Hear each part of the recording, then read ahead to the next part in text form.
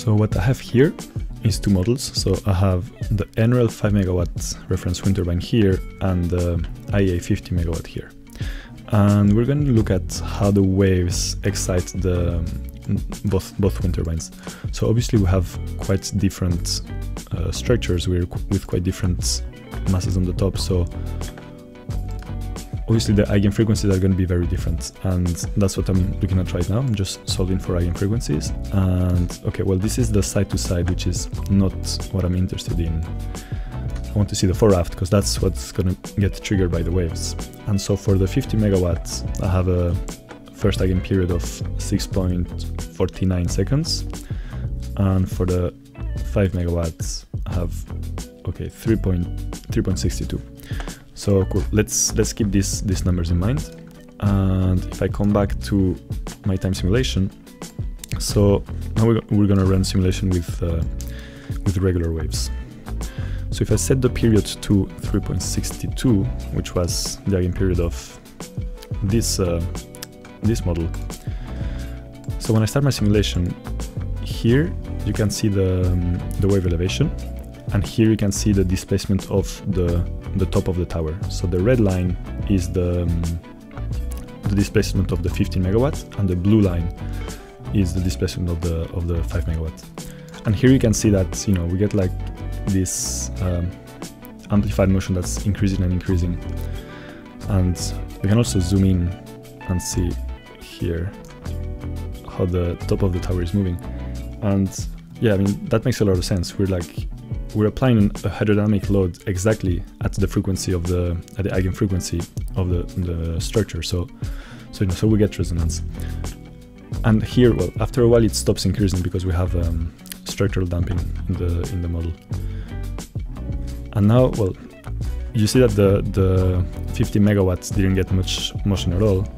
But if I change the wave period to so it was 6.49 so now have waves that have the period corresponding to the eigenperiod of, of the 15 megawatts. So now you, you see that the opposite is happening, right? So you see, you see, well, you see that there's not going to be that much motion of the 5 megawatt, which is the blue line, but you see that the 15 megawatt is starting to get amplified motion at the tower top.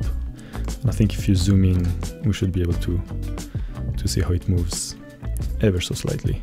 We could increase the we could increase the um, the visualization of the of the movements, but for now we're just gonna leave it like this. Cool. So this is all with linear waves. Um, what's interesting to see also is what happens with non-linear waves, and for that we're gonna do one last simulation here. So let's have let's have a 10 meters uh, wave height and 12.98 period wave period. So 12.98 is exactly twice the eigenperiod of the of the 15 megawatts, if you remember the, the numbers from before.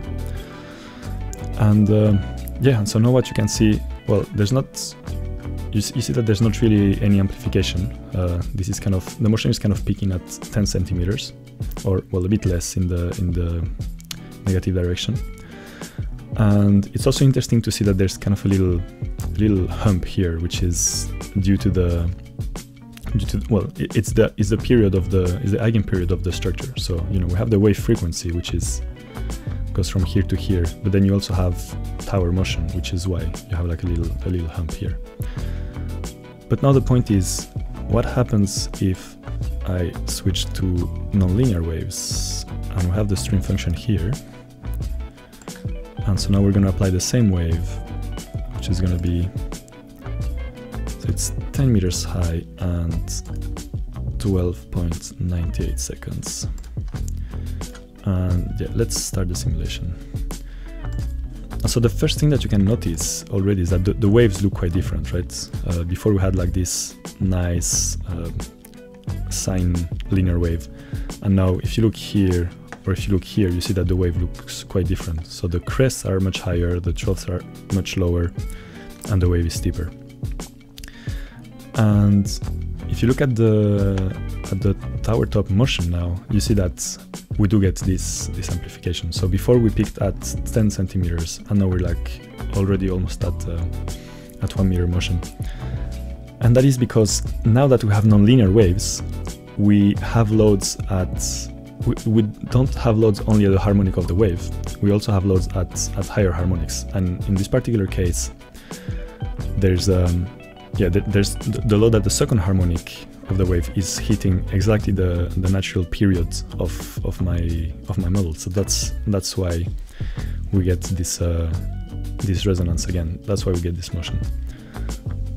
Um, I should just a, a small disclaimer. Uh, it's not the only thing that that uh, that affects the motion. I mean, we also we're also applying loads, um, you know, at, at, a higher point in the at the um, at the tower because before we you know we just had linear waves with no Wheeler stretching, and also um, when you apply linear waves, you also have loads at higher harmonics due to the drag term in the Morison equation. Um, but the drag term is quite small for for a monopile this this diameter, so so that's why this is kind of it's still very illustrative of, of uh, what is happening for this type of models. Cool. So I hope this made sense. Um, these two models you can download from our website, so I'll put a link in the description. And yeah, as always, if you liked it, like and, and subscribe and, and see you around.